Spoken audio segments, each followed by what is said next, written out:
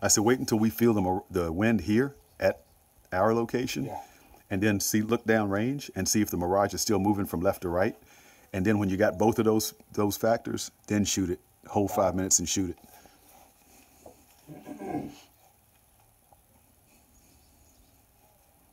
Because I'm thinking that should give us just about a a full value seven mile an hour wind.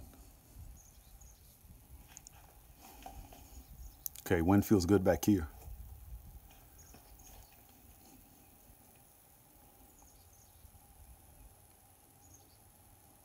You ready? Yes, sir.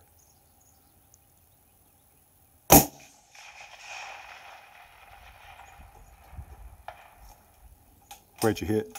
A little bit above. Click that. Uh, let's see the little button on the right, the little thing down there. Click that, and it'll blink. Where did it hit? Right above the bullseye, a little bit to the right. So we were pretty much dead on then. So when we felt the wind blowing back here and the mirage down there was at that angle, mm-hmm. you held for five minutes and hit almost, the, not a little bit higher, but you hit almost dead center. Is that right? Yeah. Oh, right there. Yeah. Hell yeah, it was good because that target's on it.